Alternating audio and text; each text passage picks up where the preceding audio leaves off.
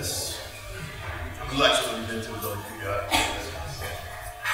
So, I'm Jay Cassario, I'm a wedding portrait photographer from New Jersey. Most of you probably know.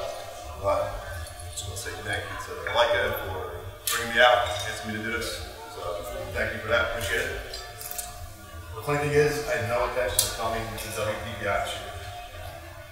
Leica asked me to come out about a week and a half ago, maybe two weeks ago. So I booked a flight, came out, and glad I did. It's been a good time. I took some of you guys out to the Red Rocks. You guys took me out. Had a good time. So it uh, worked out. But thank you to this. So I didn't start writing this until this afternoon. And a reason for that. I really wanted to wait until I got out seen how WPPI was going. I had some conversations with everybody. And I just wanted to wait until I got a better idea of what would be useful to you guys. I didn't want to talk about gear. I didn't want to talk about shooting techniques. Maybe you guys are a little bit different than typically with WPPI. Lectures, workshops, that kind stuff. So Hopefully you guys find this interesting. Hopefully I can get through this making sense or making sense I just make it for the most part. Um, but I'm going to talk to you guys about relationships and digging deeper. Uh, most of you guys up you got come out and see all the gear that's out, the booths. I wanted to see albums do a lot of album sales, so I wouldn't sell different albums are. But I did talk to a lot of people felt they did come out for networking and meeting new people, and that's a biggie. You know, that's something that I didn't realize a couple years ago, how important it is to network, build relationships, make friends, along with all the other stuff that comes out with WPPI. So,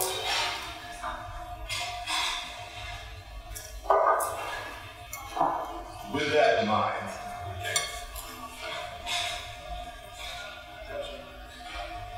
with that in mind, um, I wanted to talk about that, the importance of that, and how I kind of transitioned that over to my wedding business. How I I use the same type of relationship building and digging deeper and getting to know my clients. That's a big part of my wedding business. How much I get to know my clients. But it's also because in this industry, you know, it's you get to the point where you're competitive in this industry, it's a scary industry. You guys, most of you know that. It's, it's a competitive industry. It's tough, it's scary. Um, this is my fourth, I'm just starting my fifth. So, you know, in photography, you get to a point where you're really proud of yourself. You're now competitive. You're at the point where you're happy, but at the same time, it's very, it's just, it's very scary. And if you're not scared, you're doing something wrong. Uh, you should be scared. You always got to be on top of your game. You always got to be adapting. So, making connections and making relationships is very important to that whole game that you're being scared because now you have friends, you have support. A lot of you guys here, I mean, you, you're here, we're all here for each other. And you guys are there for me, I'm there for you. And it just helps the whole terrifying scariness of being competitive in this industry. So, how many people here are Game of Thrones fans? Hopefully, some of you guys are. Alright, so I'm gonna play But You watch Game of Thrones? Alright, so season six. So it's a clip in season six where I see this clip, and it's just like this is the same type of theory being in this photography. I'm gonna play it. Uh, it's pretty cool for you guys. If you don't know Game of Thrones, like Bud, I made him watch it like ten times. She's in the game. But once you guys see, you can kind of get a better idea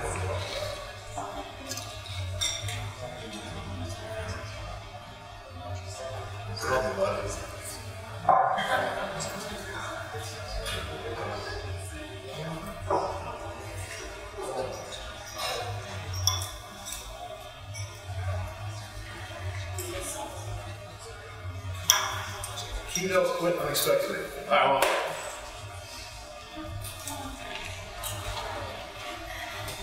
Here we go.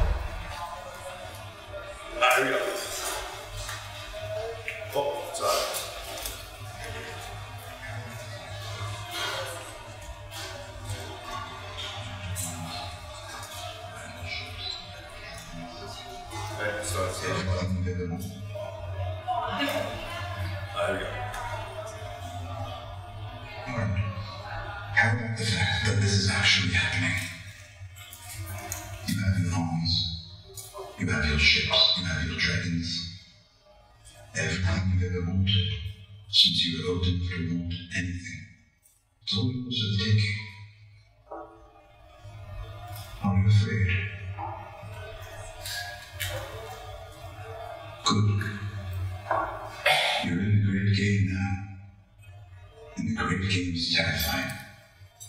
The only people who aren't afraid of failure are the madmen like your father.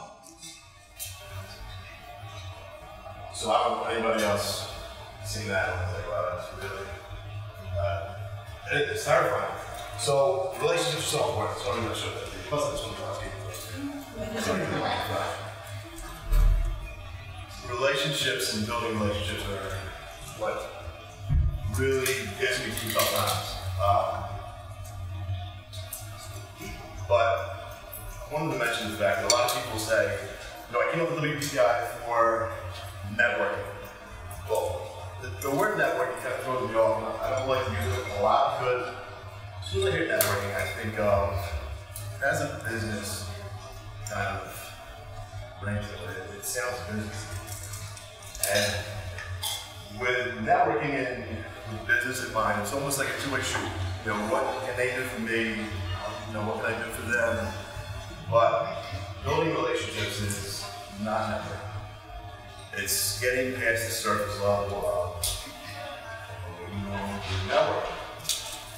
So digging deeper, that's where that comes into play.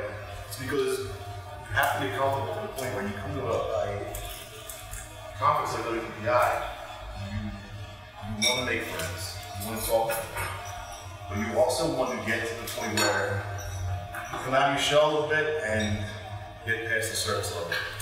Ask the questions that might feel a little awkward, but you can kind of know who you're gonna you're gonna mesh with, and just dig a little deeper. Find out about their family, find out about how they run their business. A lot of you guys are a lot of you guys I just two years ago, but we all really got to know each other good. I don't think any of us had networking in mind. It was one of those friendships. So WPPI is a big conference for me for making new relationships, making new friendships, and building on the ones that already have. So I'm gonna kind of get this a little bit, but it's the same approach that I had with my wedding clients because effect on how I photograph my wedding clients and the relationships I have. So it's kind of a two-way street. It works for me personally, works for me in my business, but it also works for me in my wedding clients.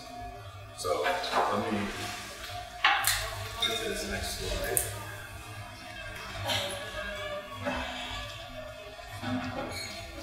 So yes, I'm not a big conference guy.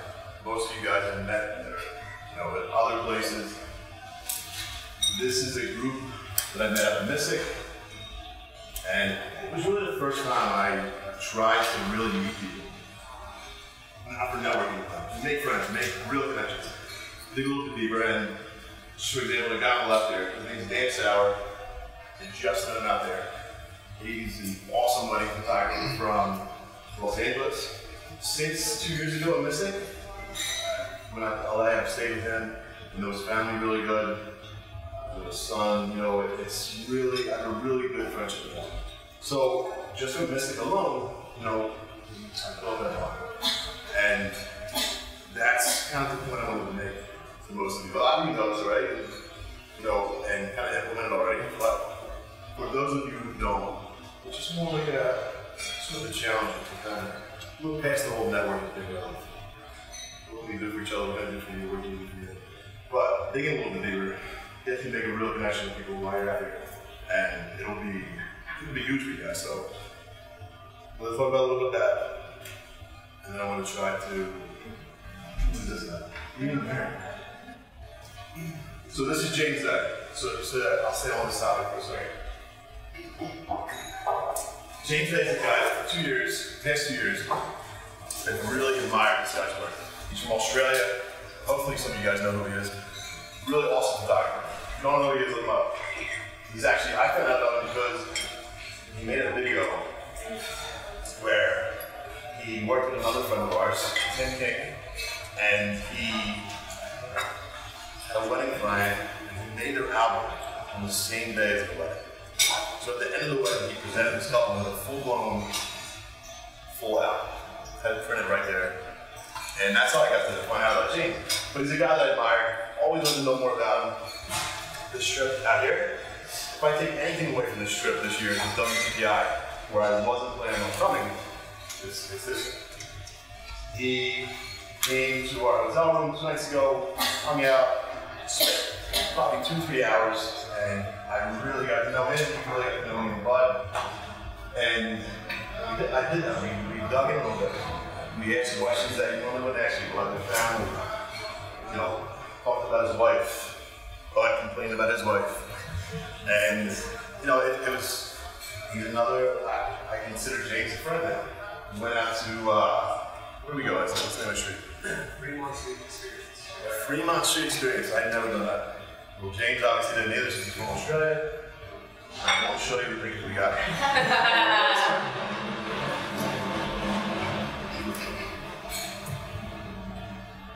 So To transition a little bit over to how I do this with my clients. And just an example. I didn't have many pictures to show you guys since I didn't bring them so drive. So Brian Moon, because of the relationship I built with my clients, I didn't ask for this picture. They asked to have a picture with us because we're more like friends. My wife, we shoot Brian together. We're more like friends than Brian. To all our clients, we portrait clients. And you can just tell, you know, the of the fact that they want a picture taken with us. And it's more of a friend than the camera. There's a little bend there. It's up, like photographing their wedding. And that's a big part of my business. But I learned that from making connections and relationships with other photographers.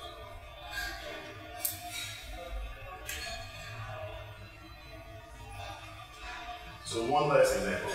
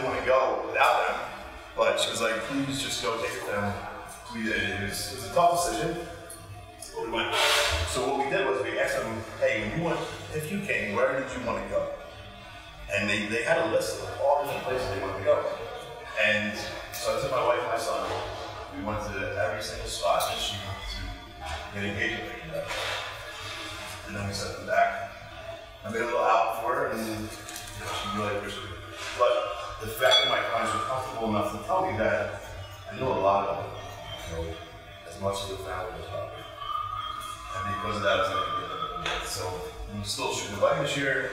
She's doing really good. She's healthy. But that was huge, and it just shows the type of relationship I have with my clients.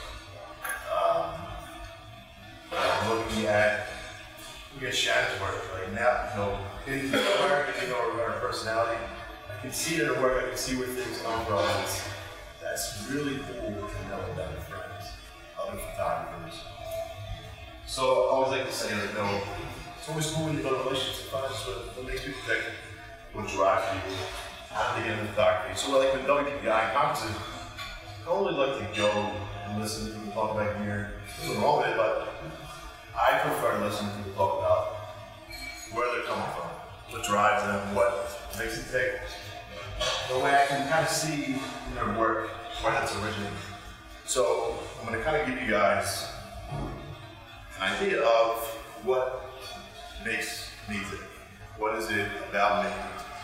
Hopefully you guys can see a little bit about how I get into photography, what drives me, what keeps me going.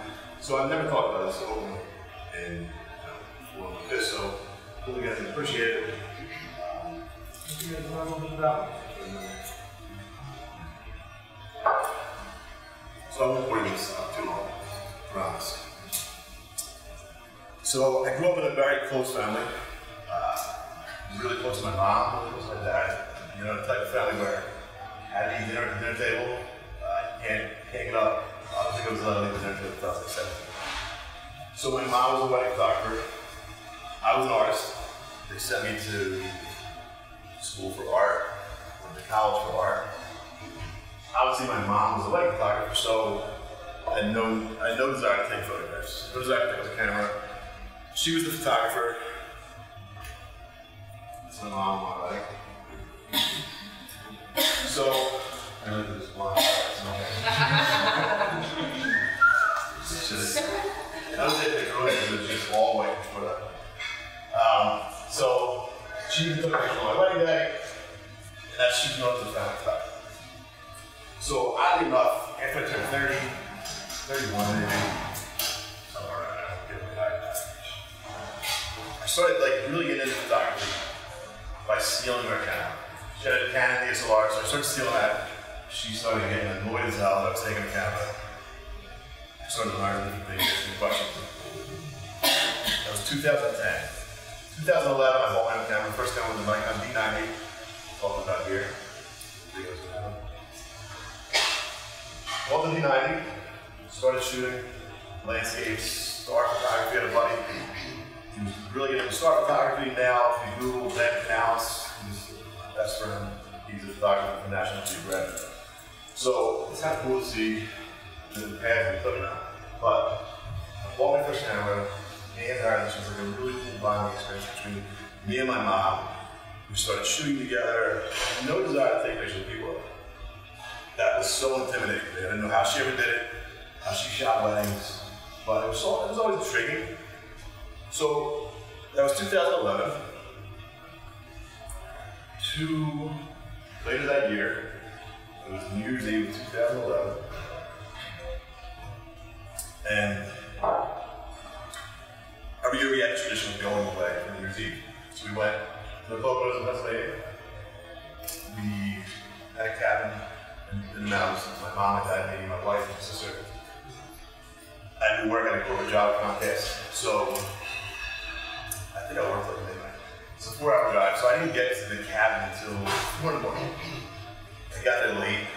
Um, I remember my mom. She's like, "Ah, come. When she gets up, she's like, "Oh, "I'll help you luggage." And my mom was just tired. Oh, just go back to bed. She came up, gave me a hug. And I was like, kind of like annoyed. No idea why. I was just in a bad mood. So I kind of like shrugged her off. My biggest regret in life was shrugging her off. Because I didn't realize that. Had reaction to drugs. That, I mean, prescribed medication was doctor. She was a little bit depressed. She was on antidepressants. She was, she had neck surgery around that same time. Little did I know that she would have a bad reaction to it. So four hours after I shrugged her off, she woke up and she was gasping for air. She died right in front of me. So no idea, you know, So that was obviously life shattering. Uh, it's, still the toughest thing I've ever. I mean, I don't wish that on my worst. Hey mom, you know, we were really close, and to see your mom die, you thought she was completely healthy, was tragic. Was horrible. Crazy thing about it is that next year following that was probably the best year I've ever had never get better. It was because of her passing that I made a ton of changes in my life. I just realized that there's a lot of things in my life I'm putting off. There's a lot of things in my life I keep saying I'll do it later. Having a kid, I was like, I got time, I'll a kid later. Um, just completely changed. Realized how short life was. Life's not guaranteed, tomorrow's not guaranteed. No idea that that was gonna. So, where I am today, honestly, it's a direct result of that morning. It's a direct result of too much life that I turned into something positive. And I can honestly I consider it a gift from her because she was a wedding planner. I just used to start shooting wedding planner after she passed away. So I'll explain a little bit about that. First, let me show you this. So that was good as my dad. So, I do consider everything I've done to this point is a result of tragedy, uh, the changes I've made in my life. I consider it's a gift because it's actually pretty crazy now looking back. Things that I learned from her when she was alive that shaped my business right now. And I'll explain a little bit, but there were certain things that she explained to me or did about when she was alive that really truly shaped my business. Um, so the other thing that drives me, besides, you know, that's kind of how things got started. Keeps me going and like that. So I'm gonna sh- just show you some quick family pictures. So this is from the vacation in Maine where I was supposed to go with that ride. I.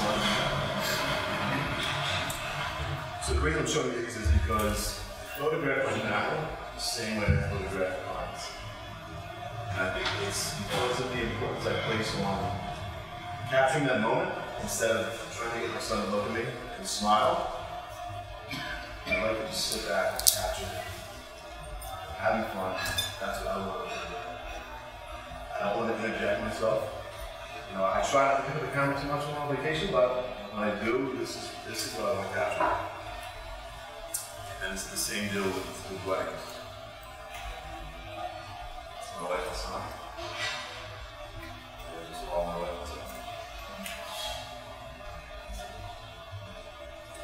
and son. It's a place we say that means absolutely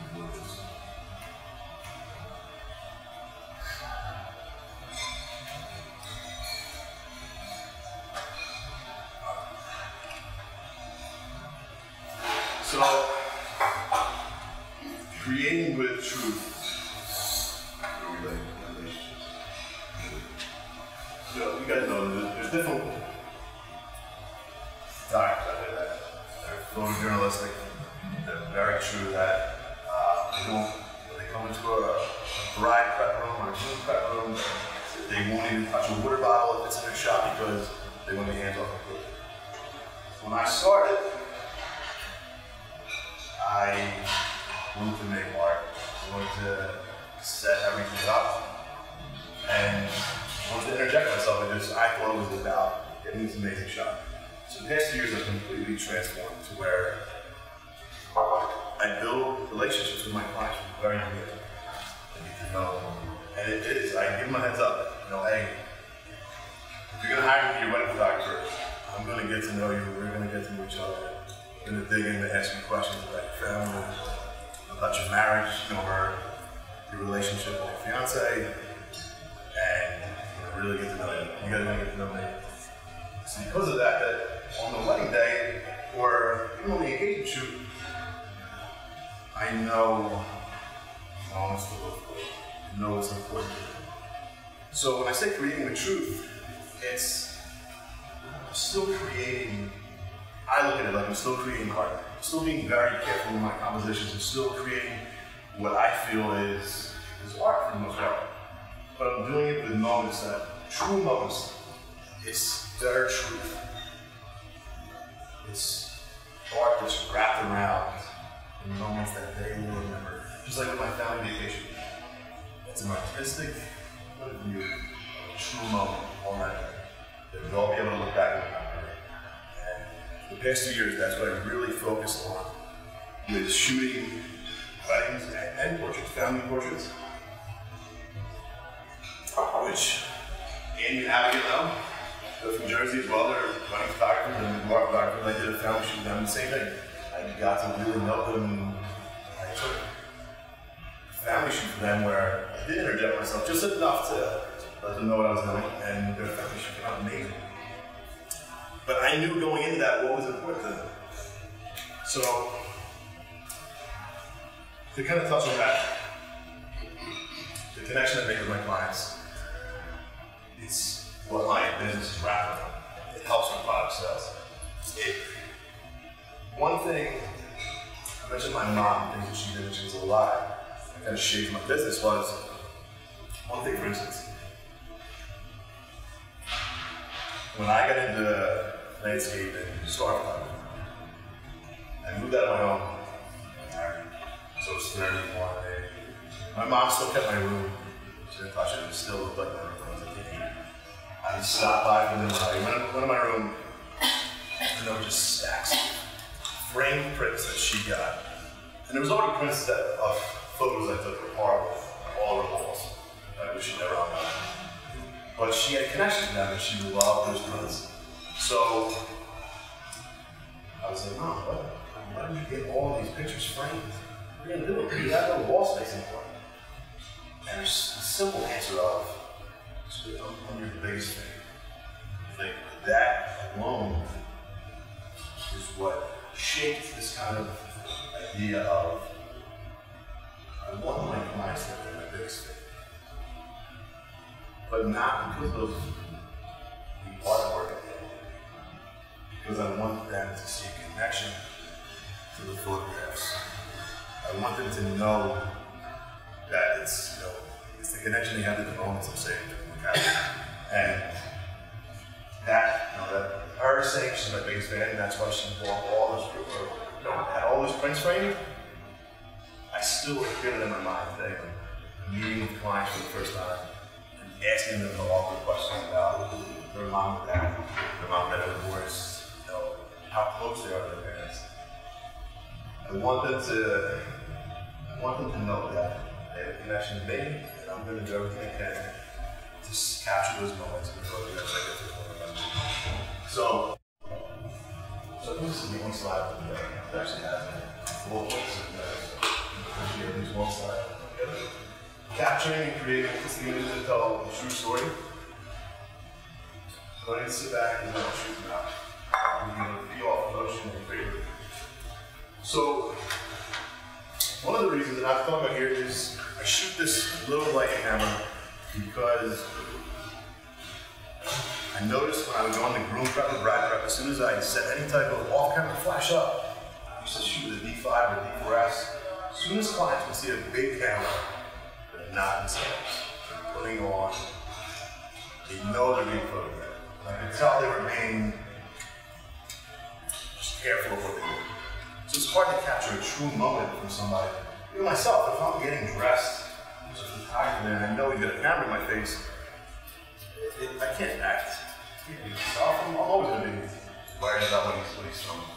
So I started doing it differently. Started shooting with the Leica camera, sit back, not interject myself. Know I'm taking the picture, don't know what I'm taking the picture of, but I'm just capturing moments as they're happening. the way that they're not going to change how they do things, they're just being themselves, they're just hanging out with their buddies, or I just with their. And that's what the is. Being able to feel emotion and with it is knowing the emotion that's going to come because I already know a bride, I know a relationship with her father. If it's if it's a shitty relationship, I'm not going to I know I'm not going to anticipate this really emotional first look between a father and a bride. It's, just, it's not going to happen. There's no relationship there. If I know there's a strong relationship, I know that need to get up, you set up a good shot, in position, and I to just make sure I'm ready for emotional few. So same thing with the the day. It's the same type of thing.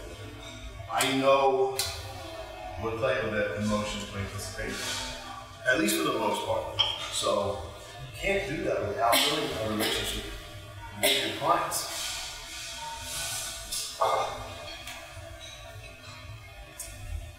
So just some simple shots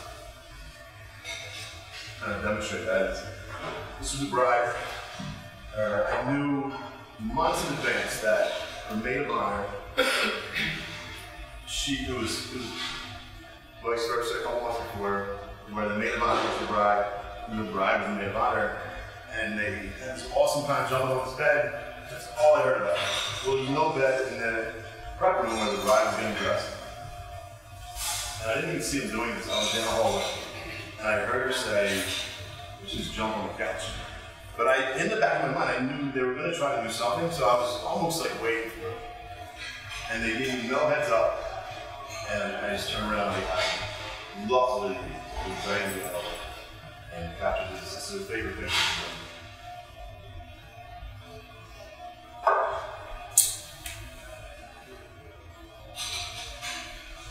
This is the bride and groom from just a few months ago. They had said, we're planning this wedding because of this little church. It's down the shore in New Jersey. It's actually on the water. They didn't do a first look, so they, they knew the day was going to fly by. They, they knew they, they weren't going to have any time for themselves. And wedding photographers, you guys know that if you do a first look, it's very rare that the bride and groom have a few minutes to themselves. It's just ceremony's over, and the pictures, family pictures, introductions for the reception. As you know, the wedding's over and ready. This was the whole way leading up the wedding. Were like, we have to find an opportunity to see away they just had them all by ourselves. So the groom looked at me and he's like, you know, I'm gonna sneak out the back door. I'm gonna drag her out there with me. And he had one of the one of the waitresses play a little radio of the songs getting his set. Played the radio outside and they danced to the song while the rest of the party had no idea that they were out there. And they just everybody else over there or inside and they stayed out there for a good five, six, seven minutes. And I knew exactly why they were doing it. And this is probably one of my favorite pictures from the shoot, 2006. It's such a cool moment, and this is what this is, this is what I consider a true moment. This is the truth about who they are. It's not this wasn't staged. I didn't stage this, and this is pretty much the whole idea of creating the truth. that I came up with and that's it. So that's that's that. This, on the other hand, is the opposite. There's definitely times out there where I know that they just want me to get cool shots. They want me to get, they want me to be interject a little bit. They want to tell them what to do. They're more in for this for art. This has nothing to do with the moment. Completely set this up. This is the bride and groom. It's a double exposure. I unfocused, you know, I completely defocused. And it was like street lights. And I got them kissing in front of the So it was uh, one of my favorite pictures, but this is the opposite. This is where this is just art. It's nothing to do with moments. So I, I definitely mix the two together. So I did have pictures with me of uh, one of my more recent weddings with a groom brother. Me and the groom, he owns a camera shop in Jersey. He's the guy named Goofy Leather. Goofy Leather. Me and immediately had a connection because he knew about my mom dying. And his father owned the camera shop up until two years ago, and his father suddenly passed away. Same thing, unexpected, devastating. He took over the family business of owning this camera shop. You guys know it's Alan's Camera. Awesome people, awesome family, love, you know, what he's done with business. But me and him, after beers, we talked for like three hours, and kind of compare stories. Told me more than I ever thought of a client. We had no relationship for this. And he's like, I just, I want you to know this because I want you to be able to capture my wedding. I'm hiring you. I know you do this. capture my wedding in a way that you know who everybody is. He showed me pictures of his brother. He has one brother. Brother lives in California. He's like, I don't, I don't get to see my brother that much. Here's what he looks like. I don't need a nation to get moments between The rest of his. Best friend. So I'm just gonna show you some pictures that I took that I didn't interject myself at all. They're all shot with a Leica. And it's just moments that I know, I know for a fact he loves them because they're in his album. And these are true moments. Is, it's truth. So, see the toast between them. Still in the leopard, leopard road.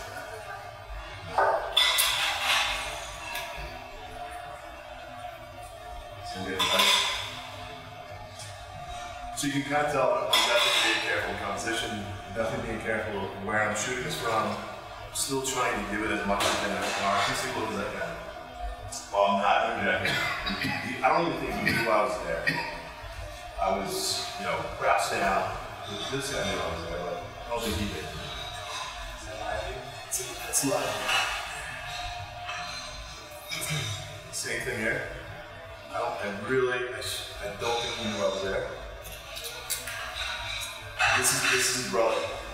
So I could have been in this moment and kind of asked him, which is what I used to do. I could have asked him, "Hey, is this your brother?" I didn't have to. I didn't have to say anything. I knew. He showed me pictures of it. I didn't have to say a word the entire time. And that used to be tough for me because three years ago, I would walk into the room and my biggest concern was that I wanted them all in. I wanted them all to think I was a cool photographer. Well, I joked around them. I would drink a couple beers with them. But I realized they were more interested in talking to me because I was a new guy, doing their own thing. I knew, this, I knew this was his brother. I took some really good shots of his brother, helping him get ready.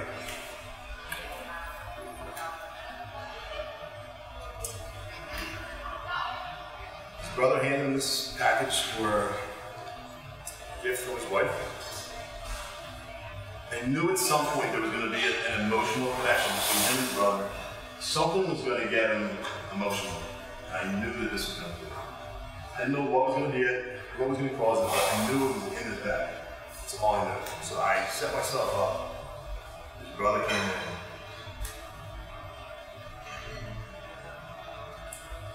I didn't have a relationship with him, I don't even think he would have wanted me. He knew I was there. His brother had a moment. A true moment that is now captured for me. This is what it was. It was a lot little picture of him and his father. And it was awesome that I was able to be there, able to capture this for. He let me in, you know, and because of that, I I was able to get information. So, the whole point of this video is to talk about relationships. Get into the community, be able to meet people, whether it's conferences like this with photographers, if it's in your business or with clients, get past service level. People you talk to. Get to know people a little better. Make relationships. Forget about networking. Get to know people as a. And hopefully you guys put something it was a little different than what other guys also speak. So I just wanted to kind of mix it up a little bit, get a little personal. So yeah, well, uh, to uh, sad. I don't know what I mean, but so this is my team. This is those team. And And all my associate doctors, they the same thing. We with clients, which our clients, they know them, take them out to dinner, they go on engagement shoots, you know, they, they have the same purity that I taught them to have. And they apply that. So, that's it. I'm just gonna open up questions and can just eat some food and drink a little bit. So, anybody got anything for me?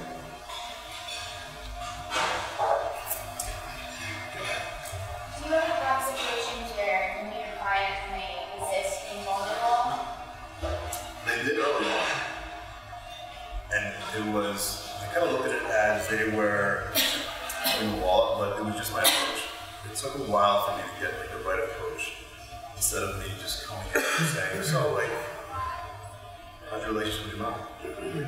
With that approach, it, it comes off as, why is this guy asking this? Now I kind of coach them into why, what, it, what I'm all about, what the business is all about. They almost know when going into it, and I, even give my heads up.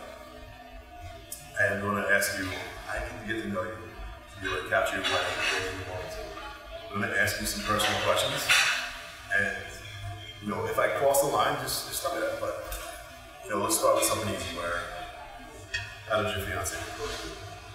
How did you, you know, how how's your relationship with your mom and dad? You know, are they still together? So once I changed my approach a little bit, it becomes easier. There's still clients that put on the wall. But having clients where I just said, I don't think that I'm the best photographer for you, because I'm not to be able to capture your wedding the way that you think I will if I don't know you well. So yeah, it's a little, it's a little interesting. If anything, it, it's scary to ask people those questions once you realize the benefits of it, it's, I, don't, I, don't, I wouldn't do it anyway. Do you shoot? I'm sorry, I would ask your question. Do you shoot with like all day then? So this is the new guy. I shot, I shot one back of. I shot about half and half. So I shoot cat DSLR, the 5 New York Ford. With the old one, it wasn't as good in the light. So I shot about Shot doing balloon prep and portraits uh, with the Rocky Blue. Obviously no autofocus, so I didn't use it for ceremony, didn't use it for reception, dancing. I used it for balloon prep, ride prep, and riding. With this, I shot the last one, I shot hand. Low light in the middle is amazing, little easier focus. So this camera, absolutely loving, but it's about hand. Or at least it's to it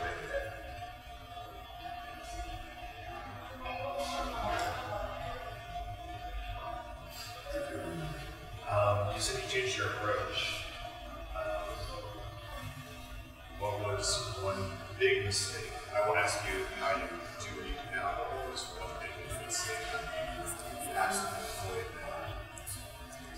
avoid you? It's a good question because I know exactly what that was. And I, I looked at it like shooting a wedding and taking the pictures. Capture images that I don't. Like awesome sunset.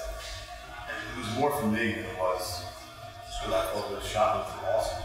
You know, when like a fearless.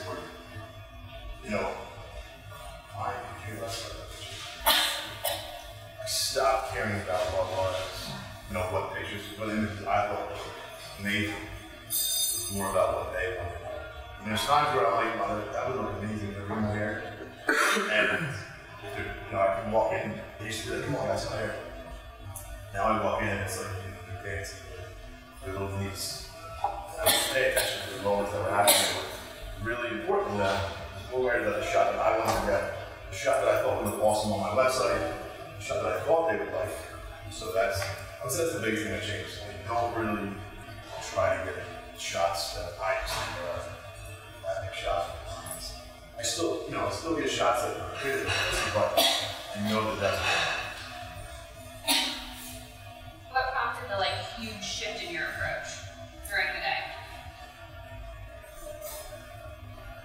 probably two years ago. It was really my first full year of life. So I'm still kind of feeling out the approach I want. And I could tell there wasn't a real connection that they had with my work. I found myself talking about myself more in like the conversations. And it was, you know, hey, check out the boss. Instead of taking time to know taking time to get to know what's going to be important for them today. And it like dawned on me that, because honestly looking back at what my mom said, that connection like wasn't there. I wasn't able to sell albums, I wasn't able to sell prints. They just didn't have a real connection. They had pretty pictures from the wedding day, but the connection wasn't there. And I really had to figure it out. I couldn't understand why I took this beautiful shot from them, and they wouldn't get, they wouldn't want to get on the campus. Just didn't have that meaning to it, no connection. So I just had to change things up. And it came at a time where I I, wanted to make a lot more connections myself in the business and get more friends in business. Make a lot of you guys, like, you know, I got to know you right around the same time, or shortly afterwards, and not taking the time to get to know my clients the level I should be, get to know what they really want. And I thought, well, shoot, close to 40 million a year, there's no way I can get build a relationship with that many clients and still be that close to them. You know, it's still in surface level. They're not going to you know, open up to me. Well, Last year, they did every client. And now, we found because every video is not there. They invite me to the family, you know, had a house opening party, but I was I was truly able to make strong relationships. I'd say all of us of thirty, but so it was one of those things where I wish I had done it earlier, but year before was just really my first year. Like, it was just, I don't know what else. As you're trying to grow a team and bring on associates, how are you finding like translating that super personal atmosphere to your whole team? It's tough, man. It's, it's tough. it's tough getting them to, you know, adopt that theory because most of them shoot weddings on their own, and they, you know, they don't take that approach. So we kind of went through a few photographers. We have three lead photographers now that they're there for a reason. They're talented. They bought into getting to know the clients and the importance. And I, you know, I paid. Any- Anytime they a client for a consultation for like meeting over the timeline and paying them, so, I mean, they are getting money out of it, but at the same time, they see now when they shoot their wedding, the connection the clients have to the the connection they have to them themselves, and they just the day goes a lot smoother because most of them were like, I'm worried about having issues with the clients. They're your clients. Worried about what happens if me, if they're not happy with their pictures. Been once they started building relationships with the clients, there was no issues. No client has complained. I won't, but, but it's and it's I know what it's from. It's from that they have a relationship with the client. When a client has a rela- if, if, same with me and you, if you a relationship with your plumber, he's your friend, comes over and fixes the leak. If he screws up, you're not going to write a bad review on his website and just trash him to everybody. He's your buddy, so it's like same same type of thing. So it's cool. It, it was tough at first, but yeah, they they adapted, or adopted. So, so how much of that are you trying to kind of almost bring yourself out of it so that they're, they're connecting with whoever's shooting their wedding as opposed to connecting with you, or is, you're not going to worry about that? So I'm completely out of the equation. I have a studio manager who does the initial consultation to see like what they're looking for, what they're looking for in a photographer. I don't let them sign a contract or even think about signing a contract until they meet with one of the associate photographers, like Cecilia. They have to meet them first because most people that come to a studio where there's multiple photographers, they're worried about one thing, and that is that there's going to be one photographer meet them for the first time wedding. Because there are so many wedding photographers to do that. they're almost like shocked that we want them to uh, orthodox first before signing a contract. So I don't, I don't even need them. those things. I want them to get to know, build a relationship with someone like Cecilia.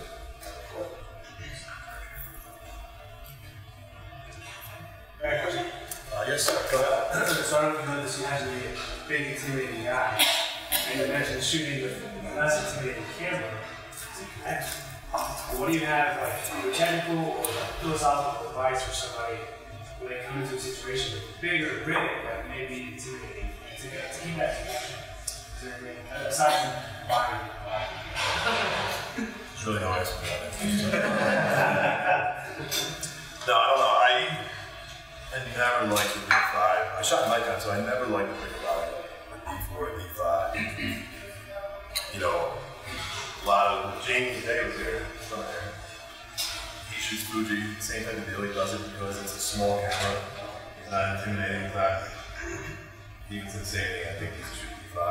Got rid of. As soon as I pulled D5 out, it with me, and immediately all the eyes like, went to me. Were like, holy shit, the doctor's good side of that camera. And it's like they look away, not being themselves. They don't want to drink because all of a sudden it's like my, their wife, you can see them drinking. And it's? Like, I'm not to be able to get any real moments out of my poor girls. And I was like, this is a big, goofy camera. And you know, the D750, that was my camera before I switched to the 5D Mark IV. I can still do it with a DSLR, it doesn't have to be a 10 camera. But it's just the fact that it's a big reason I shoot natural light when it's. I can't put up all the flash and expect people to do it themselves, knowing that it's like a movie where they're all staged, you know, it's, I just try to be as hands off as I can, not intimidating. I want